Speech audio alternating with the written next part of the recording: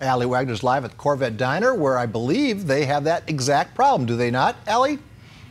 Mm-hmm.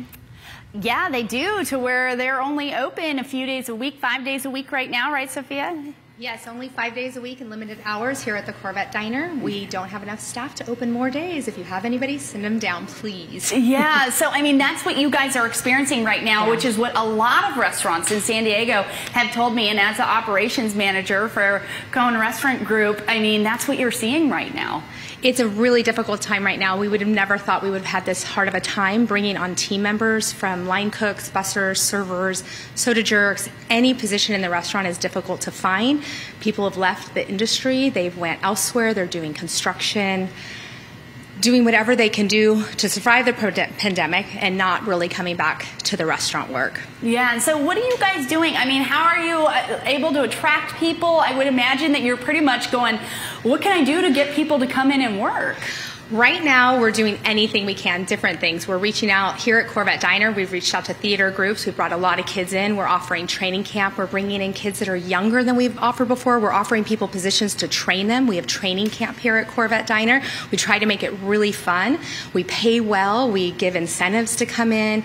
It's a fun place to work. We work around your school schedule, your other work schedules, just trying to give them the opportunity to come in, learn something, have a fun time at, at work, and hopefully we can attract more employees. Yeah, because I know that like in years past, it used to be you probably would get a dozen applications for one job. It's not that way right now. We'd put a hostess application on Craigslist. We would have to shut it down within 24 hours. We'd have over 150 applicants. Right now, we're lucky if we get 10, and if they apply for the job and we set up interviews, they may not even show up.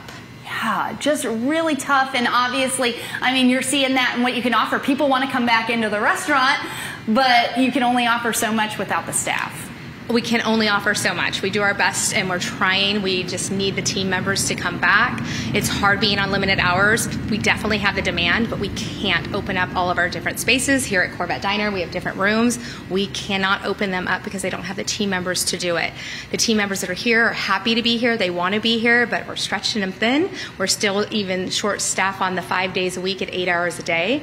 We're not at normal hours it's really difficult. There's our menus aren't complete. We don't have full access to everything. We're missing. We don't can't do all the fun dances that we you know yeah. did, but we just don't have the staff. Yeah, just really a, a, hard situation and one, like I say, I'm seeing at a lot of restaurants that I go and visit to. So once again, if people want to come and work, yeah, how can they apply? They just come on, they can go to Dine CRG at any of our locations, apply. All of our job postings are open there. They can come in with their application and fill it out. We interview on the spot. Whatever they need to do to come in, and we're happy to have it. Give us a call, come on down. Ideally, just come on in. Um, we want to have people apply for jobs. We need them. It's been the hardest thing is getting people in. Who would have thought we couldn't open our restaurants up? Corvette Diner took a month to open because we didn't have enough team members to open. And we opened with limited staff and technically short staff to get it open. Wow. I, yeah, it's just something that you keep hearing about, but the need is there. So looking for the job force to return so that then they can open up, of course, and offer more seating and be able to offer more days, more times, all of the above. We'll send things back over to you. All right, Allie. Wow. Yeah, I just hear it over and over again from these restaurants. It's really unfortunate. Mm -hmm.